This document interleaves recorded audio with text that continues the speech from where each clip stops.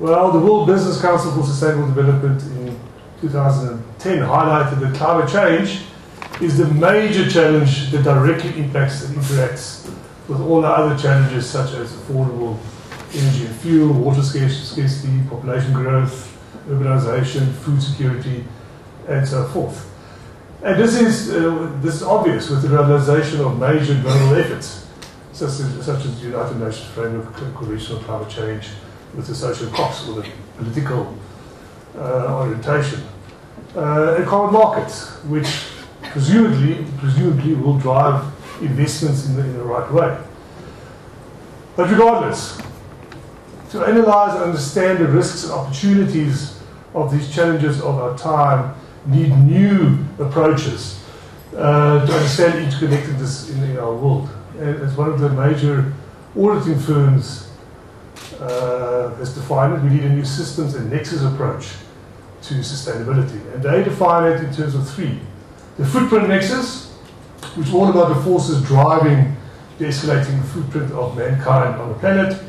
Erosion nexus, the resulting changes in the natural system on which we as society and business depends. And innovation nexus, the opportunity to address sustainable, sustainability challenges through business innovation. This book is all about the footprint nexus, as the title suggests. There is no doubt that this guide, which focuses on providing practical carbon footprint guidance for a variety of companies and organizations, is very much needed in the marketplace. It is effectively an, an, an, an enabler for companies and other organizations not only to act more sustainably from an environmental perspective, but also to introduce cost effective savings across their operations, resulting in improved financial sustainability too.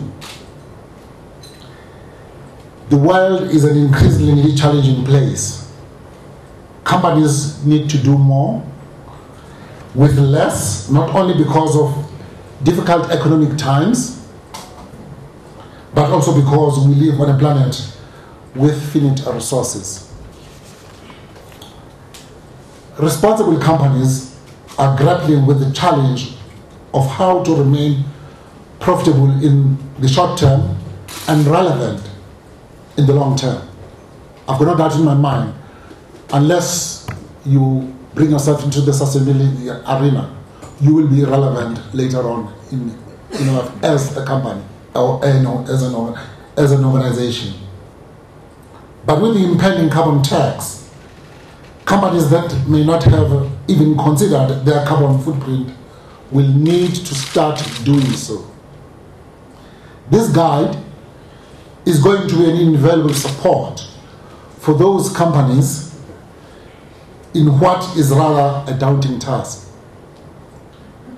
Our support of the, of the guide also means that it can be made freely available to those who might want it, both in hard copy and downloadable PDF,